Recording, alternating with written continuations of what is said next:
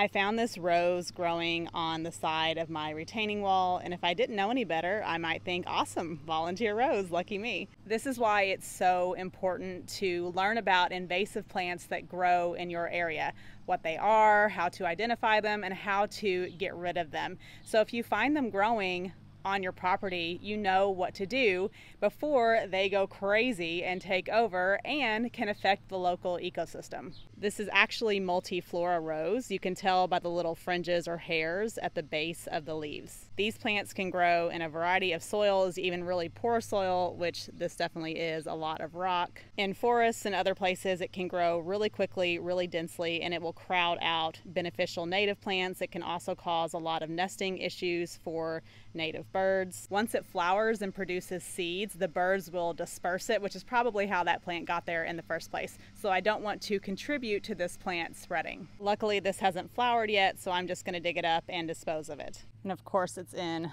the worst spot.